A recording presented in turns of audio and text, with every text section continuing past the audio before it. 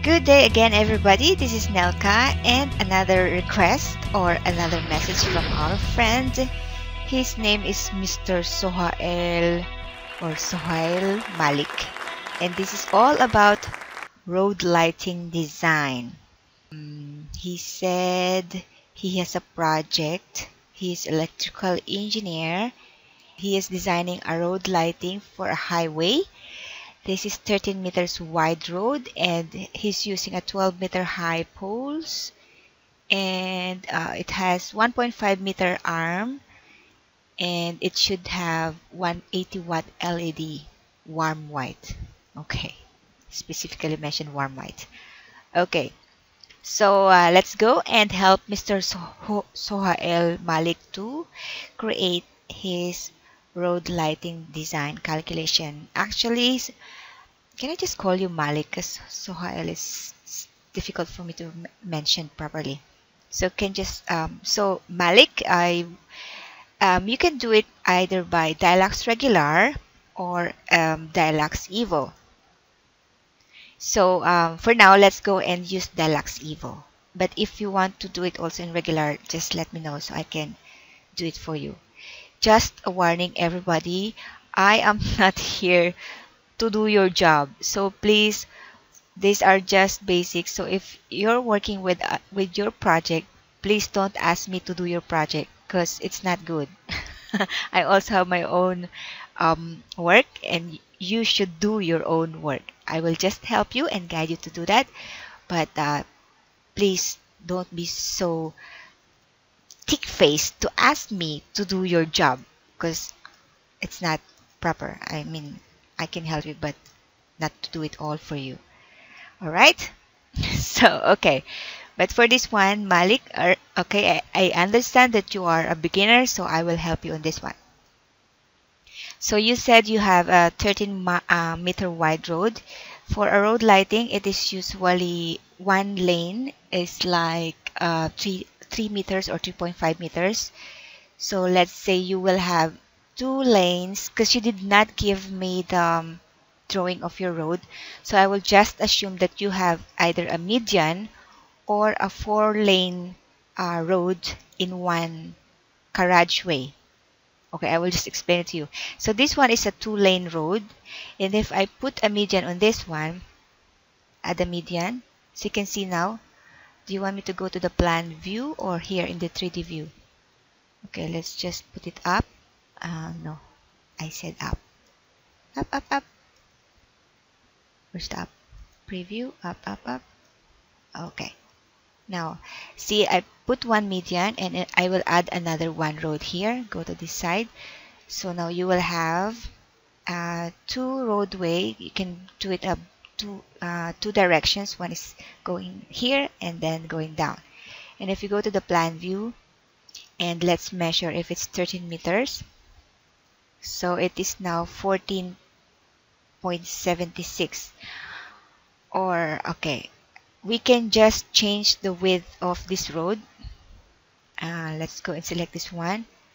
Now this is are you sure you have 13 meters okay because it's um okay maybe it's um ah all right i remember you said it's a highway so there will be no roadway anymore and there's no median and you will have only four lanes i'm sure okay.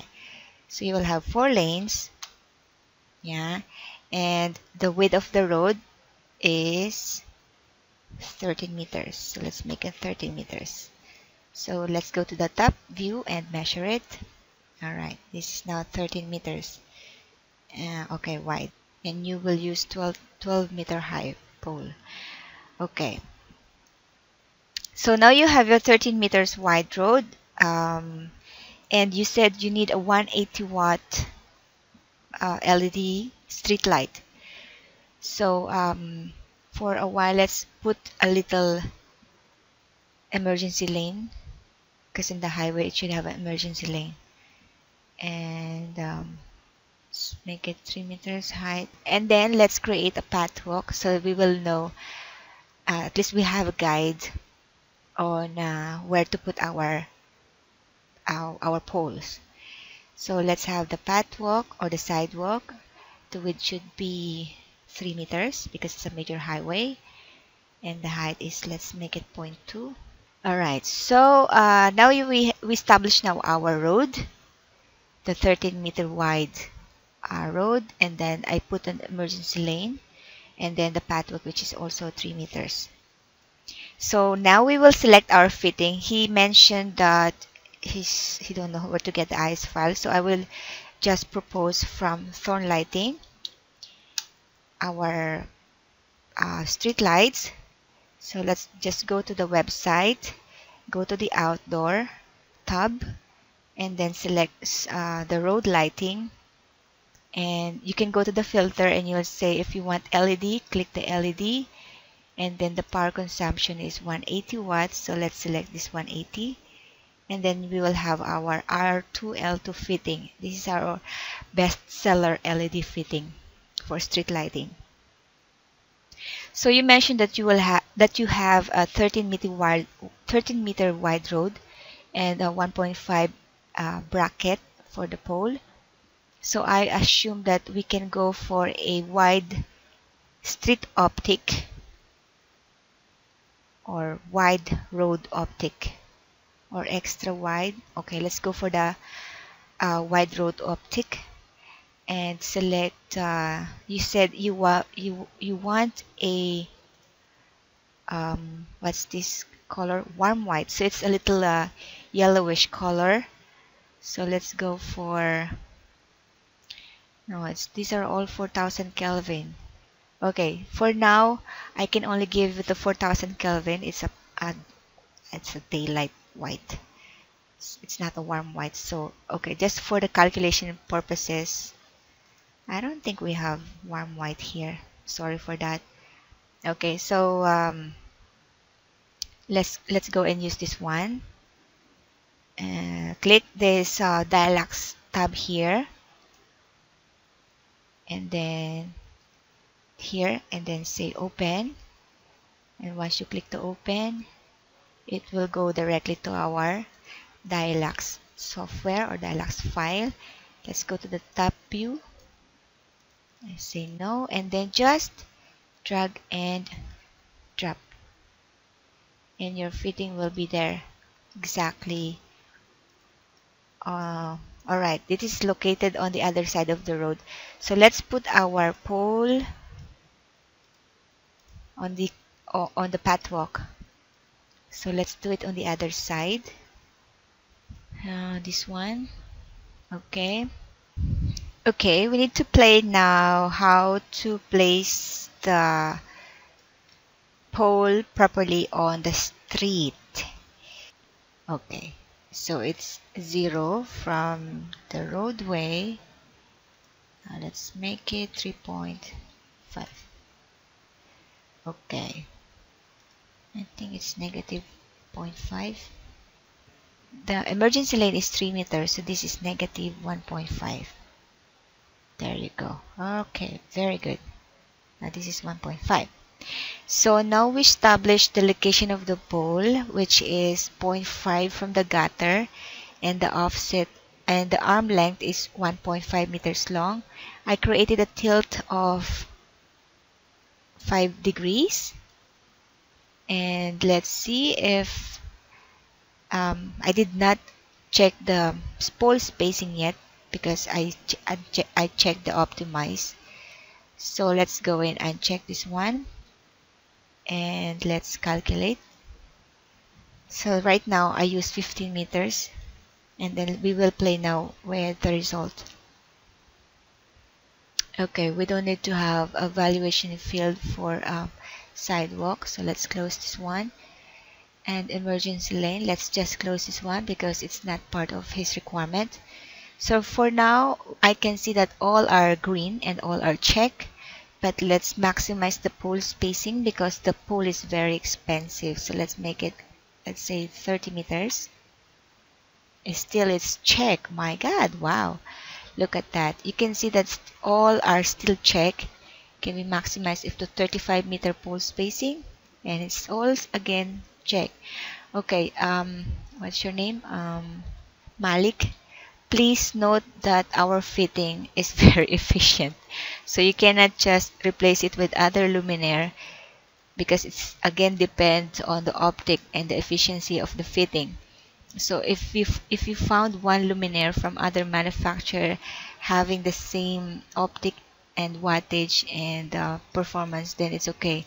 But you cannot just replace it as apple to apple because um, I'm not sure if we have the same uh, specification in the market. Okay well, well maybe you can uh, choose uh, you can specify thorn fittings and then just for your calculation purposes. And then let your contractor or your consultant look for an alternative. That's just my suggestion. Because this calculation is as per as per the thorn fittings R2L2 okay so I selected 35 meter spacing and still all are okay can we forward it to 40 meters. Now you can see now that the uh, lumen or candela per square meter is X or red and because the requirements is 0.75 and we only got 0.71 so it's wrong. If we go for uh, for example 38 meter spacing it's still perfect.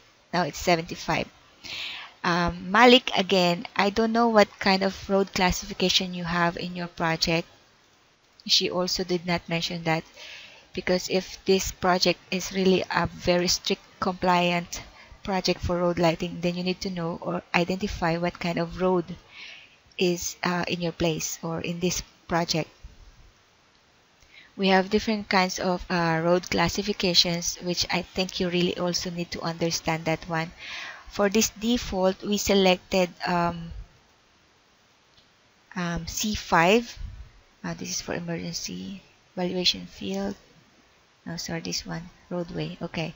For this um, calculation I selected M4 so you can see that there are lots of um, uh, classifications here road classification they have uh, we have C0 up to C5 and then HS1 to HS3 and then M1 to M6 and P1 to P6 so you need to identify okay these uh, classifications.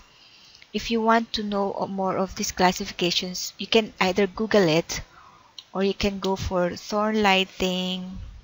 Again sorry for that I keep on proposing our website uh, but this is just your guidance. You can just you can still check it to other um, manufacturer or other standard okay so you can see it here that uh, this M2, M3 has different classifications and also different materials.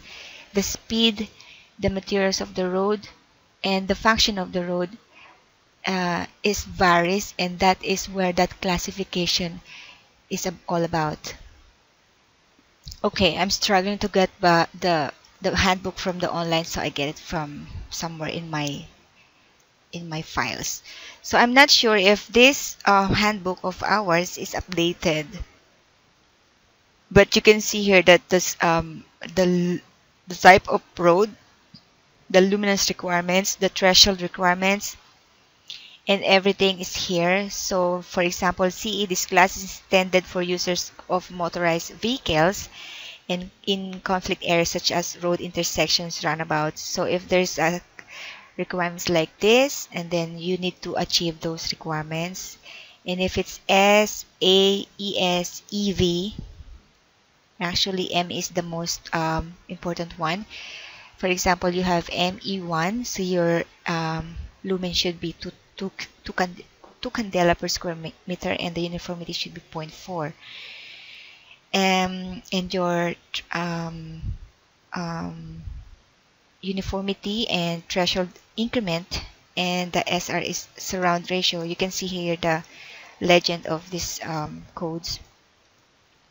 So for example we change our requirements into um, let's say M I what did I selected? I selected M4 so it says that M4 is I have two. Yeah 0.75 and these are the requirements. And you can see here that that requirements is really here. Yeah 0.75 0.4 blah blah blah. And if I change it into the most difficult one which is M M1 or ME1 then let's see what what will happen. So let's go to M1 see now I failed with this um, lumen or candela per square meter.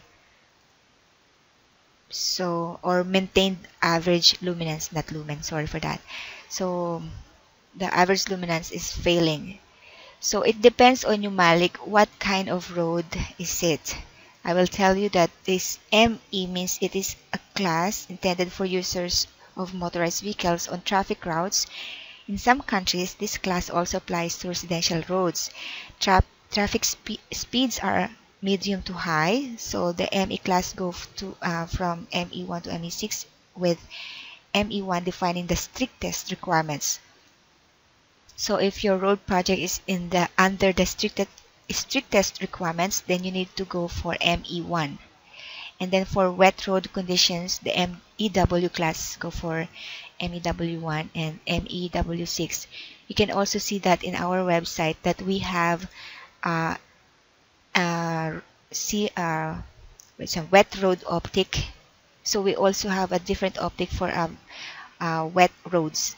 These wet roads are of course from the word wet roads. Like maybe it's always wet, like there's always rain or the the type of material is different from that road or the, there are different countries that has this kind of roads which are of course wet okay so yeah here in uh, UAE or in Dubai um, we always go for ME for yeah asphalt light asphalt and everything. So um, but some consultants requires for other road classifications. It depends. So yeah so we go for we choose I think we are done now. I think we solved your problem now Malik. So but make sure you selected the correct uh, road classifications before sending it to your client. So um, for your luminaires you will have uh, 180 watt R2L2 and the spacing is 38 meters uh, distance from each pole. It's good for the budget of the municipality or for the uh, contractor's side or uh, consultant sides. And then I, I followed your uh, height requirements which is 12 meters and then I created a tilt of 5 degree. And then um, aside from that I added an emergency lane just to make uh, in reality that in a highway there's really an emergency lane. And yeah and we achieve all the requirements here based on the ME classif M M4 road classification. So if you have guys um, more questions about road lighting please uh, okay if it's your project just do it for yourself first and then if you encounter something then that's your time to ask me. Don't give me your project. Okay? Alright, so that's it and I hope you learned something today and goodbye.